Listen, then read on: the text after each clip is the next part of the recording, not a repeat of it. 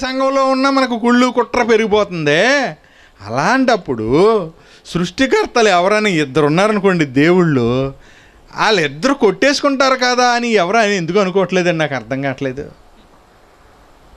నేను పెద్దనంటే నేను పెద్దనే నాకు నా మాట నాలంటే నా మాట నాలని మనమే కొట్టుకు చచ్చిపోతున్నామే. నేను పెద్ద కోడలని ఒక ఒక ఆవిడ అంటదే. నేను ఎక్కువ కట్నం తెచ్చుకున్నాను చిన్న కోడలు అంటది. నువ్వేం తెచ్చుకున్నావు? ఈ ఇంటికి వచ్చి ఏం తెచ్చుకున్నావు అంటే నేను ఈ ఇంటికి వచ్చాక ఈ ఇంటి జాతకం మారింది తెలుసా నీకు? అంటది పెద్ద కోళ్ళు. నేను ఈ ఇంటి మహాలక్ష్మిని తెలుసా నీకు ఆ విషయం? నువ్వేం తెస్తే దరిద్రుడిదేను నువ్వు అలా మాట్లాడతారు కదా లోకస్తులు. ఇంటికి వచ్చాక ఇంటి దశ తిరిగింది. నేను ఇంటికి వచ్చాను కాబట్టి నువ్వు ఇంటికి కోడలుగా వచ్చావు. నేను రాకపోతే నువ్వు రావు. ఈ విధంగా గర్విస్తుంటారు మనుషులు. అలాంటిగా అలాంటి పరిస్థితులు కాదు ప్రియులరా. ఆలోచించండి ఒకసారి. కామన్గా ఆలోచించిన ఇద్దరు మనుషులుంటేనే అసలు వాళ్ళిద్దరికీ పడతలేదే. అలాంటిది ఇద్దరు దేవుళ్ళు ఉంటే ఏ విధంగా ఉంటుందో ఒకసారి ఆలోచించండి. వాళ్ళిద్దరిలో నేనైతే నేనని పోటీ రాదు వాళ్ళకే? రాదంటారా? వాళ్ళ బల నిరూపణ చేసుకోరంటారా? నన్నే పూజించాలంటే నన్నే పూజించాలి. నన్ను తప్ప ఇంకెవరిని పూజించకూడదు. అనే పోటీ రాదా? నేను గొప్ప అంటే నేను గొప్ప అనే పోటీ రాదా? వచ్చింది కదండి ఆల్రెడీ. బైబిల్లో కూడా వచ్చింది. దేవుడు తన ఒంటరిగా ఉండలేక తన స్వరూపాలుగా పిల్లల్ని చేయాలనుకున్నాడు. పిల్లలు కావాలనుకున్నాడు. ఆ పిల్లల కొరకు ఒక సృష్టి చేయాలనుకున్నాడు. ఈ అనంత విశ్వంలో భూమి దాన్ని కలిగజేసి ఆ భూమి మీద తన ఉని తన యొక్క ఉనికిని కాపాడుతూ తన గుణలక్షణాలను ప్రచురం చేస్తూ తన కీర్తి తన పేరు నిలబెట్టినటువంటి పరిశుద్ధులైనటువంటి పిల్లలు కావాలని అనుకున్నాడు. అనుకొని వారికి ఆ మంచి పిల్లలకు నా కలలు పండించినటువంటి నా పరువు నిలబెట్టినటువంటి బిడ్డలకి నేనుండే రాజ్యం ఇవ్వాలనుకున్నాడు అప్పుడు అనుకున్నప్పుడు ఆయన ఇదంతా మనసులో అనుకుని మొదట పిల్లలు పుడితే కనుక పిల్లలకు పరిచర్య చేసేటువంటి వారు కావాలి. ఆ పిల్లల సాధక బాధ బాధకాలను అర్థం చేసుకునేటువంటి వారు కావాలి. వారికి సేవ చేసేటువంటి పరిచారకులు కావాలి అని దేవుడు దేవదూతలను కలిగించాడు. దేవదూతలను కలిగించాడు. పనివారు పని మనుషులు ఉంటారు కదా ఇల్లు పెద్దదైతే. ఈ విశ్వం అనేటువంటి దేవుని ఇంటిలో ఈ మహాసృష్టిలో కోటాను కోట్ల మంది పిల్లలు రాబోతున్నాడు. ఎందుకంటే ఆయన అంత పెద్ద దేవుడు కనుక ఆ పిల్లలందరికీ సేవ చేయడానికి పంచభూతాలను కలిగించాడు దేవదూతల్ని. ఆ దేవదూతల్లో ఒక ప్రధాన దూత ఒక ఉంటాడు కదా మేనేజర్లు అంటాడు. అందరి మీద అధికారంగా ఒకడికి ఇచ్చాడు. అబ్బాయి ఇదిగో ఇది సెక్షన్ నీది ఈ సెక్షన్ నీది ఈ శాఖ నీది ఈ శాఖ నీది అని ఇచ్చాడు. ఒకడికి సంగీతం ఇచ్చాడు. ఒకడికి భూలోకంలో పరిస్థితులను గమనించడం ఇచ్చాడు. ఒకడు దేవుని కార్యాలను తలప నిర్వహించడంలో అధికారం ఇచ్చాడు. ఇలాగ ఎన్నో ఎన్నో కార్యక్రమాలని ఆ దేవదూతలకు పనులు నిర్ణయించాడు దేవుడు. అందులో ప్రధాన దూత అయినటువంటి ఒక దూత నేను దేవుని కంటే ఏం తక్కువ అనుకున్నాడు. ఏంటి? నేను దేవుని కంటే ఏం తక్కువ అని అనుకున్నాడు. అనుకున్నాడు అనుకున్నదే అనుకున్నదే తడువు ఆలోచనే వచ్చిందే తడువు మనసులో అనుకుంటున్నాడు. నేను ఆకాశమునికి ఎక్కిపోతాను.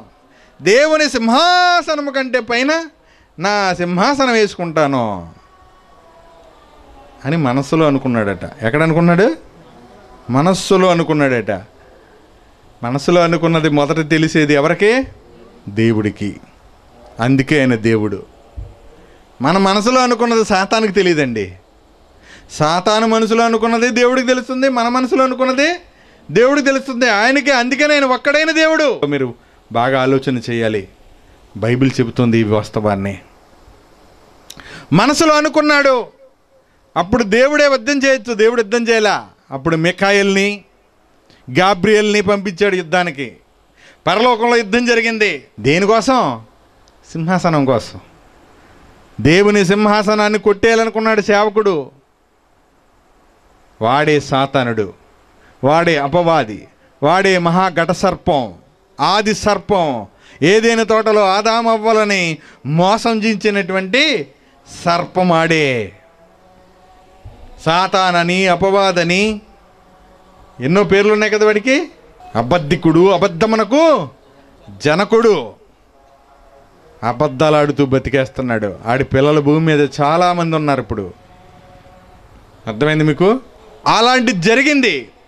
అప్పుడు ఇలాంటి పోటీ సందర్భం వచ్చింది. వచ్చినప్పుడు నిజదేవుడైనటువంటి ఒక్కడైనటువంటి పరాత్పరుడు సృష్టికర్త అయినటువంటి దేవుడు ఏం చేశాడంటే వాడు మనసులో అనుకున్నది కనిపెట్టాడు వాడిని భూమి మీదకి పంపించేశాడు. ఆ రోజు వాడితో కలిపి పాపం చేసి ఎదిరించినటువంటి దేవదూతలను ఏం చేశాడు? కటిక చీకటి గల బిలములో పాతాళములో ఒక మూలక తోసివేసేశాడు. తీర్పునకు కావల్లో ఉంచాడు. మరికొన్ని దేవదూతలు అవి దురాత్మలుగా మారిపోయి ఆకాశ మండలములో చేరిపోయాయి. అటు పరలోకానికి ఇటు భూమి మీదకి రాకుండా ఆకాశ మండలంలో చేరిపోయాయి. అవే దురాత్మల సమూహాలు. దీన్ని మనం అర్థం చేసుకోవాలి.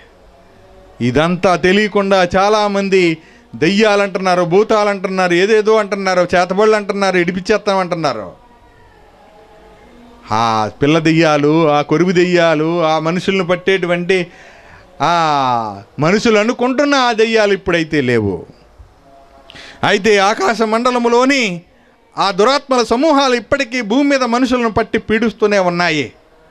ఆ దురాత్మలు విడిచిపోవాలి అంటే సత్యవాక్యము మానవుల హృదయాల్లోనికి రెండంచుల ఎటువంటి ఖడ్గము కంటే వాడి అయినటువంటి ప్రాణాత్మలను కీళ్ళను ములుగు మూలుగును విభజించినటువంటి దూరుచు. అపవాది అపవాది యొక్క తంత్రాలను తెగ నరికేటువంటి రెండంచులో ఎటువంటి ఖడ్గము కంటే వాడి అయినటువంటి ఆత్మ ఖడ్గాన్ని మనకిస్తున్నాడు. ఆ ఆత్మ ఖడ్గాన్ని ధరించిన వాడే అపవాది తంత్రాలను ఎదిరిస్తాడు. అందుకే అపవాది తంత్రములు ఎదిరించుటకు మీరు శక్తిమంతులగునట్లుగా మీరు సర్వాంగ కవచమును ధరించుకోండి. అని ఎపిసి పత్రిక పత్రికలో సర్వాంగ కవచాన్ని క్రైస్తవుని యొక్క మరి ఆయుధాలను అక్కడ చూస్తే మనము మనకు కనిపిస్తాయి. పదో వచనం నుంచి చూడండి. తోదకు మా ప్రభు యొక్క శక్తిని బట్టి ప్రభు యొక్క మహాశక్తిని బట్టి ఆయన ఎందు బలవంతులై ఉండండి. మీరు అపవాది తంత్రములను ఎదిరించుటకు శక్తిమంతులకున్నట్లు దేవుడిచ్చు సర్వాంగ కవచము. ప్రతి అవయాన్ని ప్రతి అవయవానికి కూడా ఏముండాలి? కవచం ఉండాలి. ఈరోజు చాలామందికి లేదు కవచం. ఇది ఎవరిచ్చేటువంటిది దేవుడిచ్చేదేంటిది మనం ఏం చేస్తున్నాం? మనమేమో సోకులు చేసుకుంటున్నాం బట్టలతో. ఫ్యాషన్ అయిపోయింది. ఇవాళ చర్చికి వెళ్ళాలంటే ఫ్యాషను.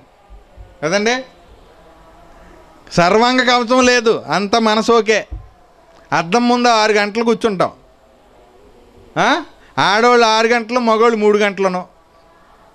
మరి ప్రార్థనలో అరగంట వాక్యం పావు గంట కానుకలు ఐదు నిమిషాలు. అయిపోయింది వేసాం పోయాం అంతే. అర్థమైంది మీకు అర్థం కాలేదా?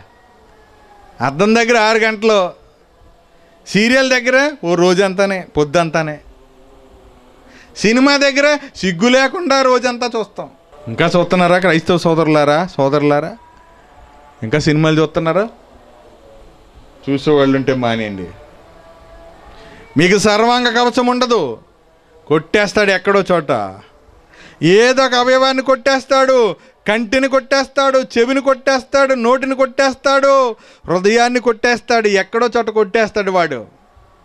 మనోనేత్రాలకు గుడ్డితనం కలగజేస్తాడు ఇంకేమీ అర్థమవుతావు ఇక వాక్యములో ఉన్న సత్యం అర్థం అవ్వదు మతంలో ఉండిపోతూ గుడ్డితనంలో అంతే. గుడ్డివాడు గుడ్డివాడికి సోపు ఇద్దరు కలిసి ఎక్కడికి వెళ్తారు? గుంటలో పడినట్లుగా. ఈరోజు చాలామంది బోధకులు సేవకులు గుడ్డివారుగా ఉన్నారు. వారు వెనకాల వెళ్ళిన వారందరినీ ఎక్కడ వేస్తారు? ఏ గుంటలో పడేస్తారు వెళ్ళి ఇంతకే?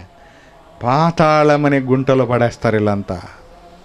వాళ్ళు పడిపోతూ వాళ్ళతో పాటు అనేక మందిని పాతాళమనేటువంటి గుంటలోకి తీసుకెళ్ళిపోయే గుడ్డివాళ్ళు. యేసు ప్రభు వీళ్ళ గురించి ఎన్నో మాటలు చెప్పాడండి. ఎన్నో మాటలు చూస్తే పిచ్చికిపోద్ది అసలు. అయ్యి బాబు అనిపిస్తుంది భయం వేస్తుంది అసలు ఏ పాస్టర్ని ఏ సేవకుని నమ్మాలో కూడా భయం వేస్తుంది ఎవరిని నమ్మనంత ఆ స్థితిలోకి వెళ్ళిపోయే పరిస్థితి ఏర్పడుతుంది. అంత జాగ్రత్తగా ఉండమని చెప్పాడు బోధకుల విషయంలో. కానీ ఎవ్వరికీ లేదు. ఎవ్వరికి లేదు. ఆరోగ్యం విషయంలో ఉన్న శ్రద్ధ బోధ విషయంలో లేదు. ఆహార విషయంలో ఉన్న శ్రద్ధ బోధ విషయంలో ఉందా? ఆత్మీయ ఆహారం విషయంలో శ్రద్ధ లేదు. జాగ్రత్త లేదు. మరి ఏ విషయంలో ఉంది? కడుపు నింపే ఆహార విషయంలో జాగ్రత్త చాలా ఉంది. ఇది తింటే అదంట ఇది తింటే గ్యాస్ పెరుగుద్దంట ఇది తింటే కడుపు నొప్పి వస్తుందంట ఇది తింటే వాతం అంట ఇది తింటేనేమో ఒళ్ళు వచ్చేద్దంట. చదువుదాం చూడండి కిందకి. ఎలా అనగా మనం పోరాడున్నది శరీరంతో కాదు. కానీ ప్రధానులతోనూ అధికారులతోనూ ప్రస్తుత అంధకార సంబంధులకు లోకనాథులు అంధకార సంబంధులకు లోకనాథులు వాళ్ళ కంటికి కనిపించరు. అంధకారము సంబంధులకు లోకనాథులతోనూ ఆకాశ మండలమందున్న దురాత్మల సమూహాలతో మనం పోట్లాడుతున్నాం పోరాడుతున్నాం. ఎవరితోటండి? ఎక్కడున్నాయి ఆకా ఎక్కడున్నాయి? ఆకాశ మండలంలో ఉన్నాయట. దురాత్మల సమూహాలు. క్రైస్తవుడు వాటితో పోరాడుతున్నాడు. ఇవే క్రైస్తవుని యొక్క వస్త్రము క్రైస్తవుని యొక్క ఆయుధాలు. స క్రైస్తవుని యొక్క సర్వాంగ కవచము క్రైస్తవుని యొక్క కవచము. చూడండి ఇంకా. అందుచేతను మీరు ఆపద్దినమందు అందుచేత మీరు ఆకాశ మండలములో వాళ్ళు దురాత్మ సమూహాలతో పోరాడుతున్నారు కదా మీకు అనేకమైన ఆపదలు వస్తాయి.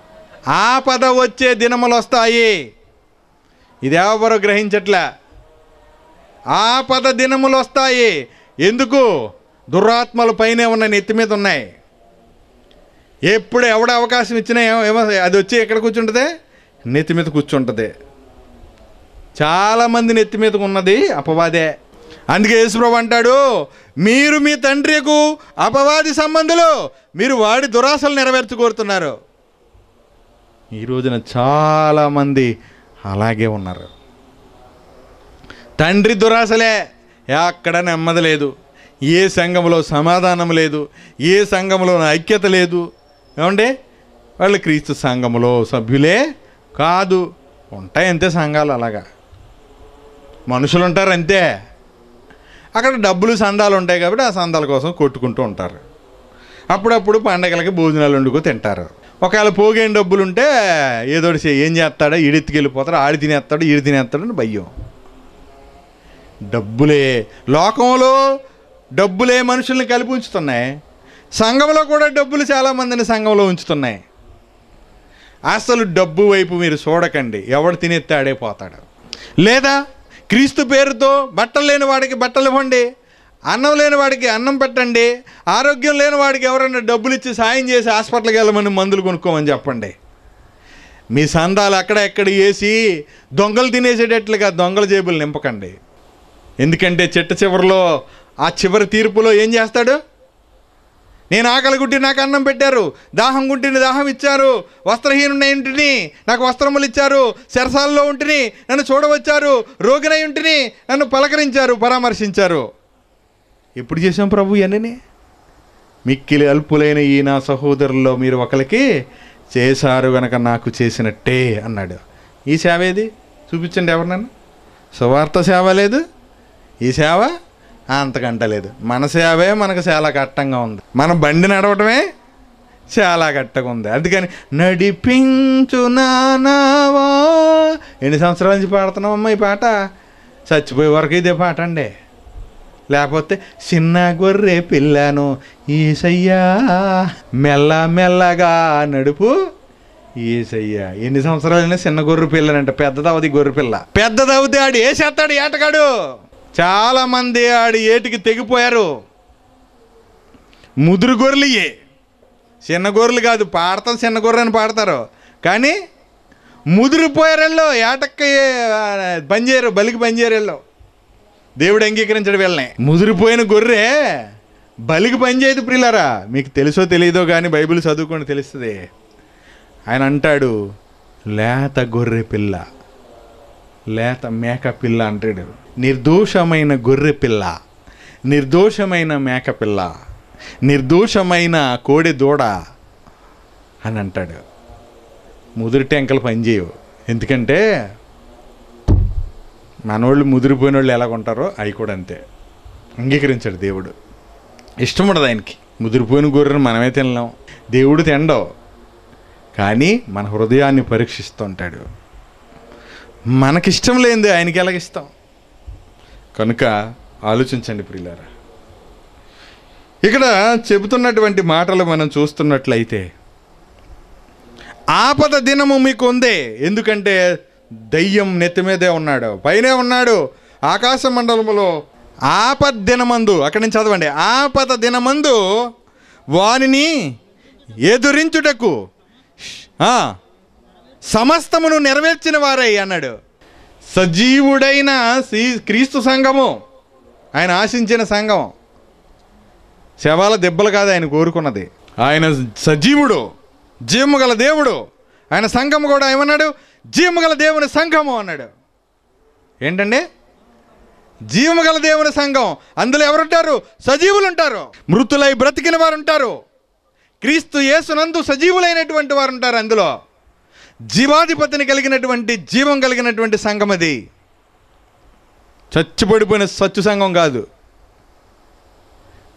ఇదిగో మీరు మృతులైతే జీవించుతున్నావన్న పేరు మాత్రం ఉంది కానీ నీవు మృతుడివే అన్నాడు సంఘాన్ని. ప్రకటన గ్రంథంలో. అంటే ఇక చాలా సంఘాలు అలా చచ్చిన స్థితిలో ఉన్నాయి. బతుకున్నామన్న పేరే కానీ మృతుడవే అని నేరం మోపుతున్నాడు. ఈరోజు అలాంటి సంఘాలు ఎన్నో ఉన్నాయి. కనుకనే అంటున్నాడు ఆపద్ధనమందు వానిని ఎదిరించుటకు మీరు సమస్తము నెరవేర్చిన వారు కావాలి. ఏంటిది? సమస్తం నెరవేర్చడం అంటే ఏంటండి? వాక్యమును నెరవేర్చేవారై ఉండాలి. సత్యాన్ని చేతబట్టుకొని జీవవాక్యమును చేతబెట్టుకుని లోకమందు జ్యోతుల వలె కనబడాలి. దేవుని వాక్యాన్ని నెరవేర్చిన వారై సమస్తమును నెరవేర్చిన వారై దేవుడు ఏం చెబుతున్నాడు ఆజ్ఞ ప్రకారం నెరవేర్చిన వారై నిలువ బడుటకు నిలువ బడుటకు పడిపోవడానికి కాదు నిలువ బడుటకు ఎందరో పడిపోయారు ఇప్పటికే పడిపోయారు కొట్టేశాడు వాడు. కాళ్ళు తెగ్గొట్టేశాడు చాలామందికి కళ్ళు పొడిచేశాడు చాలామందికి హృదయంలో దూరిపోయాడు చాలామందికి. నిలవబడుటకు శక్తిమంతులగునట్లు దేవుడిచ్చు సర్వాంగ కవచమును ధరించుకోండి. ఎలాగనగా నడుమునకు సత్యమును కట్టుకుని నీతి అని మైమరువు తొడుకుని పాదములకు సమాధాన సువార్త వలన సిద్ధ మనసును జోడు తొడుగుకుని నిలబడండి. నిలబడ్డానికి ఇవన్నీ కావాలట. మనకి ఇందులో ఓడి కూడా లేదు. ఆడి బాణం ఎత్తాడు పడిపోతాం అంతే టపిమని ఆ బాణాలు ఎక్కడి నుంచి వస్తాయి? భార్య మీద భర్త వేయచ్చు భర్త మీద భర్త మీద భార్య వేయచ్చు. మన పిల్లలు వేయచ్చు మన అత్త వేయచ్చు మన తోడుకోళ్ళు వేయచ్చు. మన ఈదులో వాళ్ళు ఎవరైనా వేయచ్చు టపిమని పడిపోతాం అంతే. అపవాది ఎన్ని విధాలుగా పని చేస్తాడో తెలుసా? నీకు ఇది తెలుసా? అని అనగానే మనకి పడిపోతాం అంతే. అపవాది పనిది ఏంటది? అదిగో ఆవిడ ఇలా చేస్తుంది ఈవిడ ఇలా చేస్తుంది. వాక్యం గుర్తుండదు. మరి ఏం గుర్తుంటాయి? ఆ? పితురీలు బాగా గుర్తుంటాయి. కొండేలు బాగా గుర్తుంటాయి. గుసగుసలు బాగా వినపడతాయి. వాక్యం? అసలే అస్సలే వెళ్ళదు. ఎక్కడికి? చెవిలోకి కూడా వెళ్దాం చెవిలోకి వెళ్ళదు హృదయంలోకి ఏం వెళ్తుంది? లోపల పొట్టలోకి అయితే సేవలు వెళ్తాయి. చేపలు మాంసం కోళ్ళు చాలా వెళ్ళిపోతాయి. లొట్టలేసుకుని మరి లాగించేస్తారు. కానీ అన్నిటినీ కలిగించిన దేవుని మాటలు హృదయంలోకి మాత్రం వెళ్ళవు పడిపోతాం అందుకనే. మిమ్మల్ని ఎవరిని కించిపరచాలని మాటలు చెప్పట్లేదు. క్రైస్తవ్యం చాలా ప్రమాదంలో ఉంది. దేవుని మాట హృదయంలో ఉండాలి. యేసుప్రభు అన్నాడు ఎవరు చెప్పని మాట ఆయన చెప్పాడు అదే మాట. మంచి ఆకలితో ఉన్నాడు. నలభై దినాలు ఉపవాసములో శోధించబడ్డాడు. శోధించబడిన తర్వాత అపవాది వచ్చాడు. ఇదిగో నువ్వు దేవుని కుమారుడు కదా. దేవుని కుమారుడు అయితే ఈ రాళ్ళను రొట్టెలుగా చేసుకో ఆకలితో ఉన్నావు కదా అన్నాడు. యేసుప్రభు ఆకలితోనే ఉన్నానని దేవుని కుమారుడిని అని చెప్పి మళ్ళాగా మేసం తిప్పలేదు ఆయన. మనుషుడు రొట్టె వల్ల మాత్రమే కాదు మనుషుడు రొట్టె వల్ల మాత్రమే కాదు దేవుని నోట నుండి వచ్చు ప్రతి మాట వలన జీవిస్తాడు మొదట తెలుసుకొని అపవాదిని గెలిచాడు. మనం అయితే ఆకలేస్తుందని ముందు లాగించేసి తర్వాత మాట్లాడదాం ఆగు. ఏం పెడతావు పెట్టు అంటాం. ఏంటి? అంతేనా? అంతేనా? అయిపో కొడుకులు ఎరకలు పగిలేస్తే ముందు ఎదురు పెట్టి నాకు తినడానికి చచ్చిపోయేలాగా ఉన్నాను అంటాం. మనం ఎలాంటి వాళ్ళు అంటే ఒక పూట కూటి కొరకు జ్యేష్ఠత్వ హక్కును అమ్మి వేసినటువంటి ఏసావు లాంటి వాళ్ళు మనం చాలామంది ఉన్నారు ఇప్పుడు సంఘాల్లో. కొంతమంది అయితే భోజనాల కోసమే వస్తారు. భోజనం లేకపోతే ఏమి కనపడతారా? కనపడరు. కొంతమంది రావాలంటే క్రీస్తు మస రావాలి. ఎక్స్ మస రావాలి లేకపోతే. వాళ్ళకి క్రీస్తు వద్దు. వాళ్ళకి ఎక్స్ కావాలి. ఎక్స్ వై జడ్లే కావాలి ఇంకేం అవసరం లేదు వాళ్ళకి. అర్థమైంది మీకు? క్రీస్తు వద్దు క్రీస్తు వాక్యము. జీవవాక్యము అస్సలు వద్దు. జీవవాక్యం అన్నాడు దాన్ని. మీరు అర్థం చేసుకోవాలి. ఇప్పటికే మనము దేవుని నోట నుండి వచ్చే మాట వల్లే బ్రతుకుతున్నాం. గమనించండి. కేవలం రొట్టె వల్ల కాదు. రొట్టె ఒకటి ఉంటే బతుకుతాడు మనిషి? యేసుప్రభు మాటలోని పరమార్థాన్ని ఒకసారి ఆలోచిద్దాం. ఒకసారి మీరు ఎప్పుడైనా ఆలోచించారు లేదో. ఇలాగ ఆలోచించాలి? రొట్టె వల్ల మాత్రమే బతకడు. దేవుడు దేవుడి నోటి చోటు మాట వల్ల బ్రతుకుతాడు. అయిపోయింది అనుకుంటే సరిపోదు. ఆలోచించండి దానిలో పరమార్థం. రొట్టె తింటే బతికేస్తాడా మనిషి? చెప్పండి రొట్టె ఒకటి సరిపోద్దా? గాలి నీరు దేవుని వలన కలిగిన ఈ ప్రకృతి అంతా సహాయం చేస్తేనే కానీ బతకలేడు. రొట్టు వల్ల మాత్రమే బతుకుతున్నాడా? రొట్టె వల్ల బతికితే చచ్చిపోయినాడికి రొట్టె ఎట్టు బతుకుతాడు? కేవలం రొట్టె కాదు బతకడానికి రొట్టె కూడా అవసరమే కానీ రొట్టె వల్లే మాత్రమే బతకట్లేదు. నీరు గాలి నీరు ఆ తర్వాత ఆహారం. ఈ ఆహారం తిన్నటువంటి వా- నేల ఈ విశ్వమంతా ఉండాలి. ఆ పైన మరి సూర్యుడు చంద్రుడు నక్షత్రాలు ఇవన్నీ కావాలి చాలా పని ఉంది దీని వెనకాల. ఇదంతా ఎలా కలిగింది? ఓ మాట చెప్పండి. దేవుని నోటి మాట వల్ల. అర్థమైంది మీకు ఇప్పుడు? అది ఆయన మాటలోని ఆంతర్యం. కేవలం మాట అనుకున్నారా? ఆయన మాట సెలబీయగా ఆ ప్రకారం ఆయను. ఆయన మాట చెప్తే జరిగిపోయింది. ఆ మాటను నమ్మండి. ఆ మాటను హృదయంలో ధరించుకోండి. అపవాదిని జయించండి అంతే.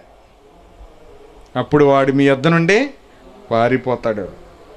ఇంతకీ అపవాది చేతులు వాడు ఓడిపోతుంది దేనికో తెలుసండి? వాక్యం లేనందుకు. ఎందుకు? అందుకే కిందకి చదవండి ఏముంటుందో. ఇవన్నీ కాకుండా స్పెషల్గా ఒక ఆయుధం ఇస్తున్నాడు చూడండి. విశ్వాసమను డాలు పట్టుకోండి. డాలు డాలు. వాడు బాణాలు వేస్తాడు. ఆ బాణాలని ఆ డాలుతోటి మీరు ఆపాలి. విశ్వాసమను డాలు పట్టుకుని దానితో మీరు దుష్టుని అగ్ని బాణాలను ఆర్పాలి మీరు. వాడి బా వేసే బాణాలు మామూలుగా ఐస్ క్రీమ్ బాణాలు కాదు. మీరు ఏదో మామూలుగా అనుకుంటున్నాడు ఆడాడు మామూలుగా ఏదో పెట్టలు కొట్టుకుని ఏటగాడు కాదాడు ఆడు. వేసే బాణం అగ్ని బాణం.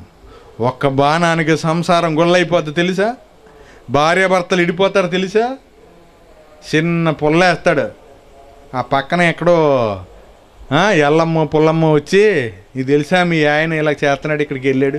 పలానా ఆవిడని బండి ఎక్కించుకున్నాడు నువ్వు చూసావా? అని అనుకోడు అయిపోయినట్టే. ఆ సంసారం కాలిపోతుంది. అదే అగ్నిబాణం అంటే. మీరు ఏదో అనుకుంటున్నారు. అందుకే యేసుప్రభు యాకోబు పత్రికలో ఏం చెప్పాడు దేవుడు? నాలుక అగ్నియే! అది నరకము చేత సిచ్చు పెట్టబడును అది మీలో ఉన్నటువంటి పాప ప్రపంచమై సర్వ శరీరానికి కూడా నిప్పెట్టేస్తుంది. తగలెట్టేస్తుంది ప్రపంచాన్ని. ఈ ప్రపంచాన్ని తగలెట్టే నిజమైన అగ్ని ఎక్కడి నుంచి వస్తుందండి? మనిషి నాలుక జాగ్రత్త నాలుక. ఆ నాలుకని దేవుని మాటలు మాట్లాడడానికి వాడండి. ఈ డాలుతో సత్యం విశ్వాసం అనేటువంటి డాలుతో పట్టుకోండి. దానితో మీరు దుష్టిని అగ్నిపానాల్ని ఆర్పుటకు శక్తిమంతులు అవుతారు మరియు రక్షణేను శిరస్త్రానము దేవుని వాక్యమని ఆత్మ ఖడ్గము ఏంటండి? దేవుని వాక్యమని ఆత్మ ఖడ్గమును ధరించుకోండి.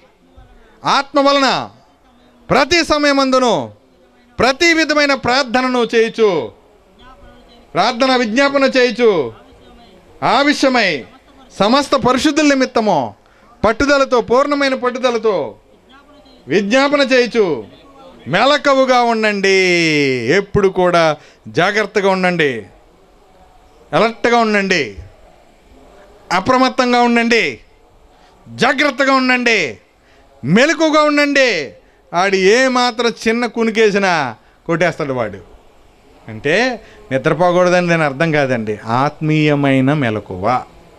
వీడు అపవాద వీడు దొంగ వీడు దొంగబోధకుడా ఎవడు అని ఇది వాక్యమా లేకపోతే ఏమన్నా కలిపి జరుపుతున్నాడా? ఇది దెయ్యాల బోధ దేవుడి బోధ?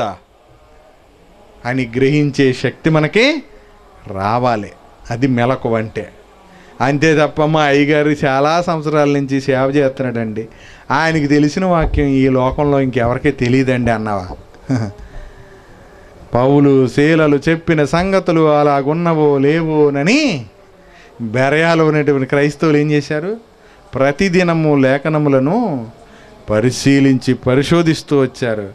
పౌలు గారు చెప్తేనే చదివి ఎత్తుకోవాలేటి ఆయన చెప్పింది చెప్పినట్టు ఉందో లేదో పౌలు గారు చెప్తే ఎత్తుక్కోవాలా పద్నాలుగు పత్రికలు రాశాడు.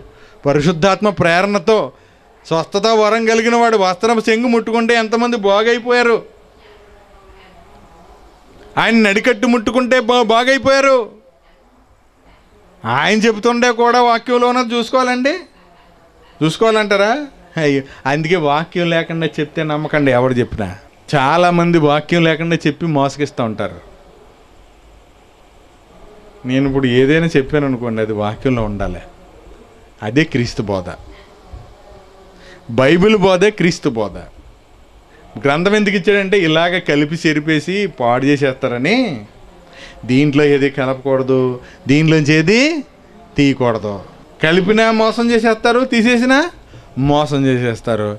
ఇంకో విషయం చెప్పమంటారా? మనం మోసపోకూడదనే గ్రంథం ఇచ్చాడు. లేకపోతే ఇలా పంపించేవాడు. అలాగే. ఇది అజ్ఞాన కాలం కాదండి. ఇది జ్ఞానకాలం ఇది క్రీస్తు శకము. ఇది శాస్త్రం అభివృద్ధి చెందినటువంటి టెక్నాలజీ కలగ ప్రపంచం ఇది. Technology science and technology. Knowledge కలిగినటువంటి ప్రపంచం ఇది. ఈ ప్రపంచంలో ఊత్తినే దేవుణ్ణి నమ్ముకోండి అంటే ఎవడో నమ్ముకోడు.